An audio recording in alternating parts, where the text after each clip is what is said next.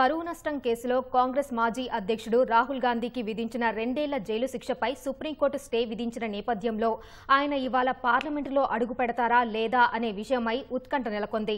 Speaker నిర్ణయం పట్ల కాంగ్రెస్తో పాటు యావత్ దేశం ఆసక్తిగా ఎదురుచూస్తోంది.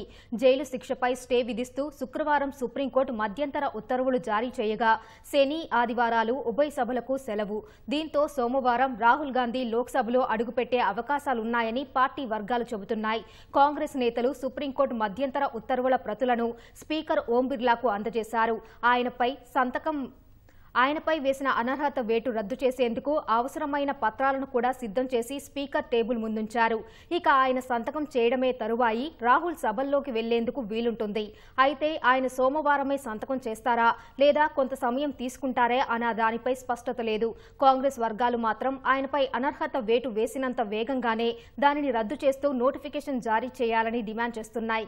లేదంటే మళ్ళీ న్యాయస్థానాన్ని ఆశ్రయించే యోచనలో ఉన్నాయి.